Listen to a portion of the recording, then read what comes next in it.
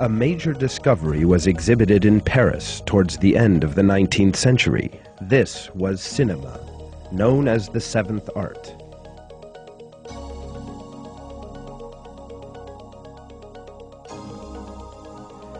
The first film in history made by the Lumiere brothers.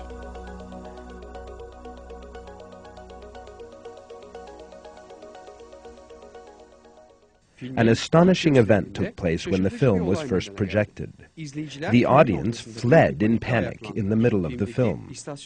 The image of a train approaching a station was so realistic that they imagined the train was about to hit them.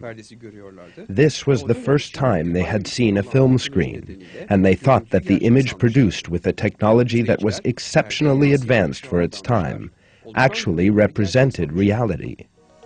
The audience were deceived by the light falling onto the screen and imagined that the images that formed were real. Another hundred years went by. The same illusory effects are obtained today thanks to holograms and with special eyeglasses that set up a three-dimensional image.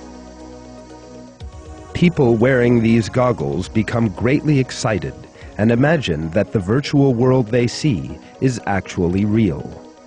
They feel themselves to be part of this virtual universe. Yet they do all this in the full knowledge that these images they see are only virtual.